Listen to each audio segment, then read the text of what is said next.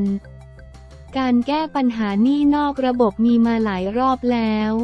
แต่ปัจจุบันมีรูปแบบซับซ้อนมากขึ้น นายชัดชาติ กล่าวต่อว่าโดยสัปดาห์ผ่านมาได้ให้นโยบายกับ 50 สำนักงานเขตให้หาวิธีลงทะเบียนเจ้าหนี้ด้วย เป็นกระบวนการที่ทำคู่ขนานเพื่อให้ได้ข้อมูลมากที่สุดกทมมี 2,000 ชุมชน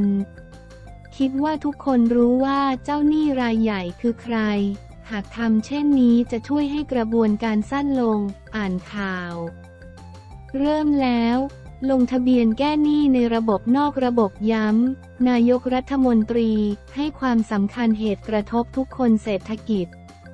ขอเชิญชวนประชาชนที่เป็นหนี้นอกระบบให้มาลงทะเบียน เพราะไม่มีอะไรแย่ไปกว่านี้แล้ว มีแต่จะดีขึ้น เราเป็นหนี้นอกระบบชีวิต เราก็แย่พออยู่แล้ว แสดงว่าชีวิตถึงทางตันจึงต้องให้ภาครัฐมาช่วย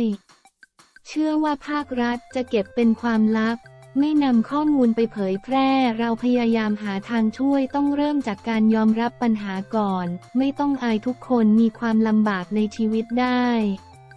เอาข้อมูลมาแล้วเราช่วยกันหาทางแก้ปัญหาต่อไปเชิญชวนประชาชนไปลงทะเบียนในทุกเขตทุกจังหวัด ข้อมูลจะได้ขึ้นมาอยู่บนโต๊ะข้อมูลที่อยู่ในนอกระบบก็มาอยู่ในระบบ ผู้ว่าราชการจังหวัดชัดชาติกล่าว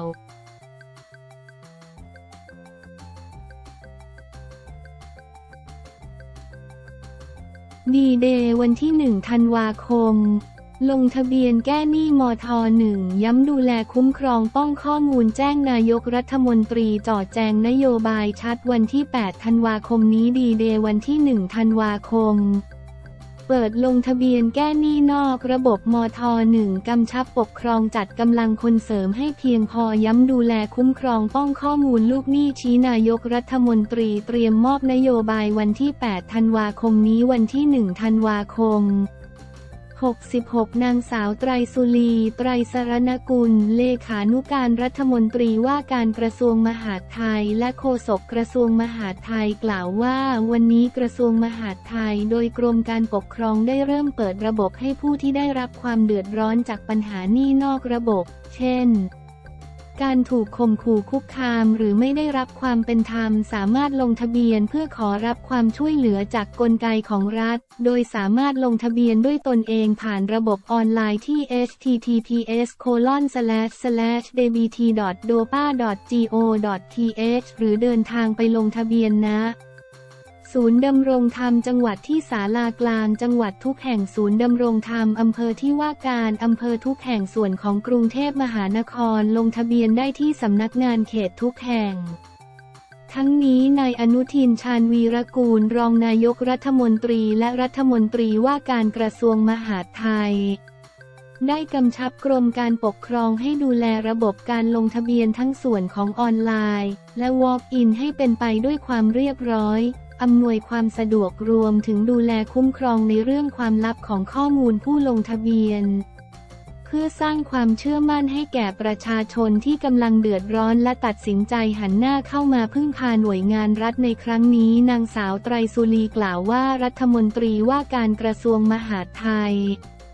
ยังได้กำชับให้มีการจัดกำลังเจ้าหน้าที่ให้เพียงพอสำหรับสนับสนุนมาตรการนี้ ประสานกับทางตำรวจและหน่วยงานที่เกี่ยวข้องในพื้นที่ในการไกล่เกลี่ย ให้ความช่วยเหลือแก่ผู้ที่กำลังประสบปัญหาให้ได้รับความเป็นธรรม พื่อเป็นไปตามนโยบายของนายเศรษฐาทวีสินนายกรัฐมนตรีและรัฐมนตรีว่าการกระทรวงคลังที่ประกาศให้นี่นอกระบบเป็นวาระแห่งชาติ ฟื้นฟูสภาพความเป็นอยู่คืนศักดิ์ศรีคืนความหวังและสร้างความมั่นคงให้กับคนไทย ทั้งนี้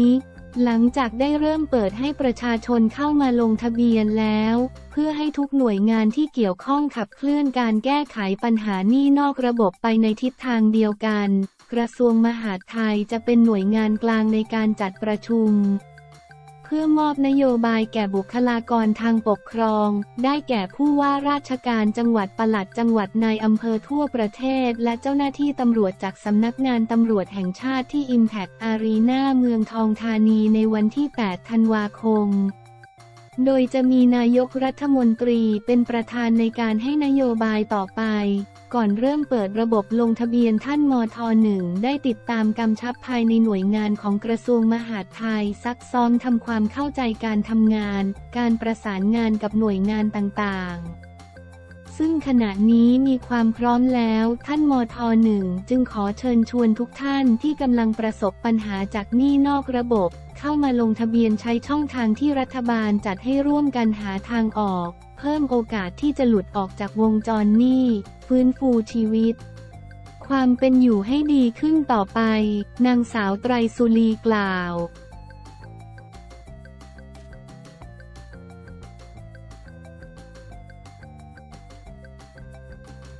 ทายเลขทูบมาแล้วแฟนหวยรอคุณยายใบเลขแม่นงวดนี้เห็นอีกเลขสองตัวงวดที่แล้วให้เปแห่ฟังเลขยายไฮอาภาพรเลขทูบมาแล้วแฟนหวยรอคุณยายใบเลขแม่นงวดนี้เห็นอีกเลขสองตัวหลังจากงวดที่แล้วให้เปไฮอาภาพรเปิดเลขทูบงวดวันที่ 1 ธันวาคม 2566 พร้อมแคปชั่นว่า เห็นไหมทูบอะแต่ฉันอะไม่ค่อยเห็นอาภาพรนครสวรรค์อาภาไฮอาภาพรนครสวรรค์สวรรค์อาภาพาหาเลขโดยแฟนแฟนตีเลขอาทิ สาธุงวดนี้สามตัวตรงเลยนะคะพี่ไฮคุณยายชอบเลขอะไรคะ สาธุสาธุสาธุค่ะ ข้างล่างเลขไรคะแม่ แม่ยิ้มสวยมีความหวังกับเราแหละขอบคุณคะ เป็นต้น ขณะไลฟ์สด คลิปไลฟ์จุดทูบคุณแม่ของลูกทุ่งดังหรือคุณยาย เลขที่แฟนๆรอคอยงวดนี้ คุณยายใบ้เลขบอกเห็นตอนเช้าว่าก้าวลอยมามาหยุดข้างรอยเท้าปู่ยาวมากก็ห้า ก็เอา 95 ไฮบอก 91 หรือเปล่า ซึ่งยายบอกยังเห็น 80 อีกด้วยไฮอาภาพรลูกสาวยังบอกด้วยว่าคุณแม่บอกเลข 14ขีด41 งวดที่แล้วตัวเองไม่ยอมซื้อออกตรงๆมาแล้ว พร้อมให้พรทุกคนไปตีเลขกันเอาเองนะ ขอให้โชคดีถูกหวยกันทุกคน